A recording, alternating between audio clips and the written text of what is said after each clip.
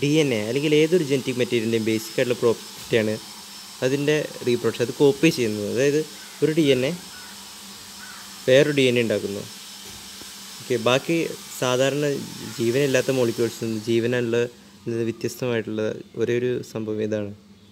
അതായത് ഒരു മോളിക്യൂൾ അതിന്റെ തന്നെ എക്സാക്റ്റ് കോപ്പി ഉണ്ടാക്കാൻ സാധിക്കുക എന്നുള്ളത്. അപ്പോൾ എങ്ങനെയാണ് ഇത് ഡി എൻ എ ഈ കാര്യം ചെയ്യുന്നത്? ഓക്കെ അപ്പോൾ ഇതിനെ സംബന്ധിച്ച് രണ്ട് മോഡലുകൾ ഉണ്ടായിരുന്നത്.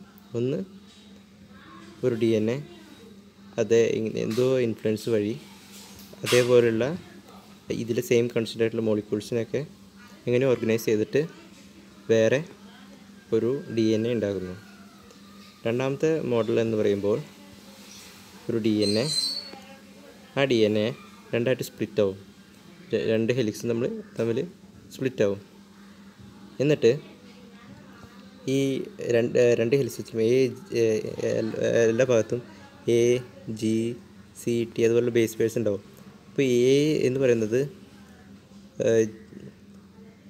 ടി ആയിട്ടും അഡിൻ എന്ന് പറയുന്നത് ടി തൈമിനായിട്ടും ഗ്വാനിൻ എന്ന് പറയുന്നത് സൈറ്റോസൈനായിട്ടാണ് ബോണ്ട് ചെയ്യുള്ളൂ. അപ്പോൾ ഇതിന്റെ അടുത്തുള്ള ഇന്റർമോളിക് ഫോഴ്സ് പ്രകാര കാരണം ഇവിടെ മോളിക്യൂൾസ് വന്നു. അങ്ങനെ ഇവിടെ വേറൊരു സ്റ്റാൻഡ് ഉണ്ടാവും അങ്ങനെ ഇത് റെപ്ലിക്കേറ്റ് ചെയ്യുന്നു. ഇത് ഇങ്ങനെ രണ്ട് മോഡലാണ് ഉണ്ടായിരുന്നത്. ഓക്കെ അപ്പോൾ ഇതിനെയാണ് സെമി കൺസെപ്റ്റീവ് മോഡൽ എന്ന് പറയുന്നത്. അപ്പോൾ ഇതെങ്ങനെയാണ് സെമി കൺസർവേറ്റീവ് മോഡൽ പ്രൂവ് ചെയ്തതെന്ന് നോക്കാം. അതെന്താണ് ചെയ്തതെന്ന് വെച്ചാൽ ഒരു ടെസ്റ്റ് ട്യൂബിൽ നമ്മൾ കുറച്ച് ഡി എൻ എ എടുത്തു. ഈ ഡി എൻ എ എന്ന് പറയുന്നത് നൈട്രജൻ ഫിഫ്റ്റീൻ അതായത് നൈട്രജന്റെ ഐസോട്ടൈപ്പായ നൈട്രജൻ ഫിഫ്റ്റീൻ ഉൾപ്പെടുത്തിയിട്ടുള്ള ഡി എൻ എ ആണ്. അപ്പോൾ ഇത് സാധാരണ നൈട്രജൻ എൻ ഫോർട്ടീനേക്കാളും ഹെവിയാണ് അപ്പോൾ ഇത് നമ്മൾ ഒരു ടെസ്റ്റ് ട്യൂബിൽ എടുത്ത് സെൻട്രിഫ്യൂ ചെയ്ത് കഴിഞ്ഞാൽ എല്ലാം അടിയിൽ തന്നെ കിടക്കും. കാരണം ഇതിന് വെയിറ്റ് കൂടുതലാണ്.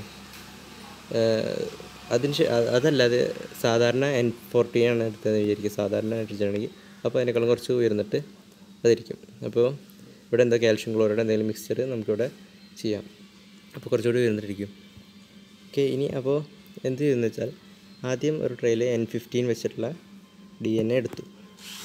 എന്നിട്ട് അതിനെ ഒരു വേറെ ട്രെയിൽ വെച്ചിട്ട് അതിനെ റീപ്രൊഡ്യൂസ് ചെയ്യാൻ അനുവദിച്ചു. പിന്നെ റീപ്രൊഡ്യൂ ഇതിന്റെ കോപ്പി ഉണ്ടാക്കാൻ അനുവദിച്ചു. അങ്ങനെ കോപ്പി ഉണ്ടാക്കിയതിന് ശേഷം വീണ്ടും നമ്മുടെ ടെസ്റ്റ് ട്യൂബിൽ ഈ ഡി എൻ എടുത്തു. എന്നിട്ട് സെൻട്രിഫ്യൂ ചെയ്തപ്പോൾ എന്താണ് കണ്ടതെന്ന് വെച്ചാൽ